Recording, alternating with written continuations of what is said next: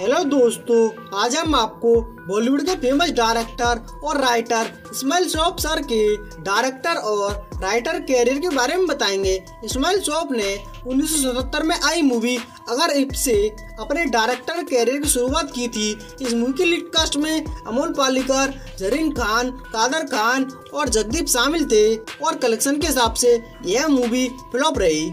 1980 में इस्माइल श्रॉफ की मूवी आई थोड़ी सी बेवफाई।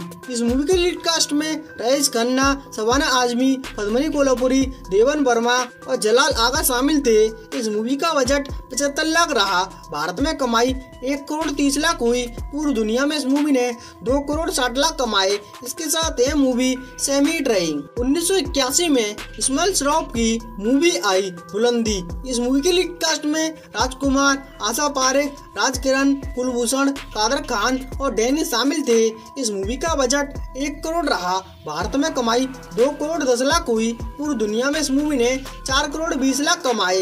इसके साथ यह मूवी हिट रही। इसी साल इस्माइल श्रॉफ की एक और मूवी आई, आहिस्ता आहिस्ता। इस मूवी के लीड कास्ट में सम्मी कपूर, नंदा, कुणाल कपूर, पद्मनी कोल्हापुरी और शशिकला शामिल थे और कलेक्शन के हिसाब से यह मूवी फ्लॉप रही। उन्नीस सौ बयासी में इस्माइल श्रॉफ की मूवी आई, दिल आखिर दिल है। इस मूवी के लीड कास्ट में नसरुद्दीन शाह, परवीन बॉबी और राखी गुलजार शामिल थे और कलेक्शन के हिसाब से यह मूवी फ्लॉप रही। उन्नीस सौ चौरासी में इस्माइल श्रॉफ की मूवी आई, झूठा सच। इस मूवी के लीड कास्ट में धर्मेंद्र, रेखा, जुगल हंसराज और अमरीश पुरी शामिल थे और कलेक्शन के हिसाब से यह मूवी फ्लॉप रही। उन्नीस में इस्माइल श्रॉफ की मूवी आई, पिघलता आसमान। इस मूवी के लीड कास्ट में शशि कपूर, राखी, रति अग्नोत्री देवन वर्मा, लीला मिश्रा, सुधीर पांडे और मास्टर रवि शामिल थे और कलेक्शन के हिसाब से यह मूवी फ्लॉप रही। उन्नीस सौ छियासी में इस्माइल श्रॉफ की मूवी आई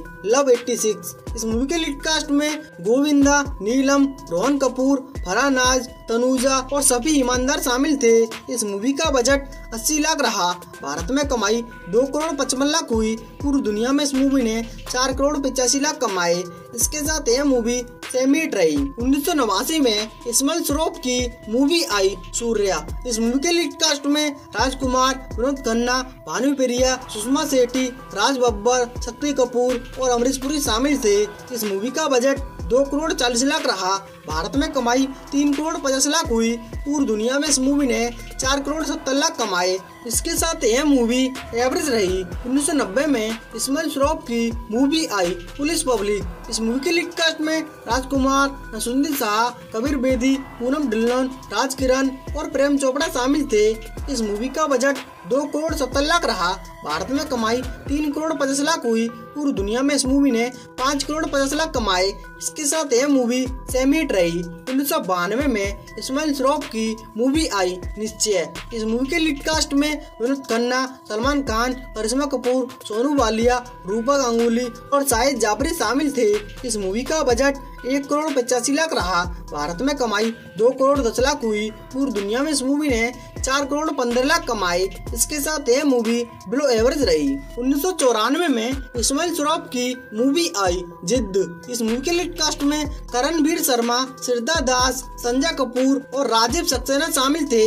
इस मूवी का बजट पचहत्तर लाख रहा। भारत में कमाई बयालीस लाख हुई। पूरी दुनिया में इस मूवी ने उनासी लाख कमाए इसके साथ यह मूवी डिजास्टर रही।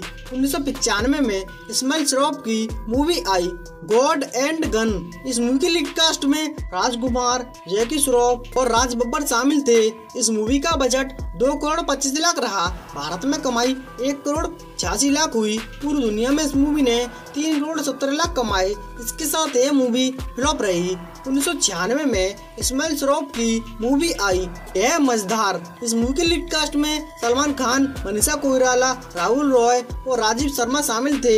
इस मूवी का बजट एक करोड़ पचास लाख रहा। भारत में कमाई इकतीस लाख हुई। पूरी दुनिया में इस मूवी ने उनचास लाख कमाए। इसके साथ यह मूवी डिजास्टर रही। सन 2000 में इस्माइल श्रॉफ की मूवी आई तरकीब। इस मूवी के लीड कास्ट में नाना पाटेकर, तब्बू, आयत पंचोली, शिल्पा शेट्टी, मेघना तिवारी और आशुतोष राणा शामिल थे। इस मूवी का बजट पाँच करोड़ रहा। भारत में कमाई पाँच करोड़ अट्ठाईस लाख हुई। पूरी दुनिया में इस मूवी ने नौ करोड़ चौबीस लाख कमाए। इसके साथ यह मूवी फ्लॉप रही। 2004 में स्मेल श्रॉफ की मूवी आई, थोड़ा तुम बदलो, थोड़ा हम। इस मूवी के लीड कास्ट में आर्य बब्बर प्रिया सरन सोमा आनंद और असरानी शामिल थे। इस मूवी का बजट दो करोड़ रहा।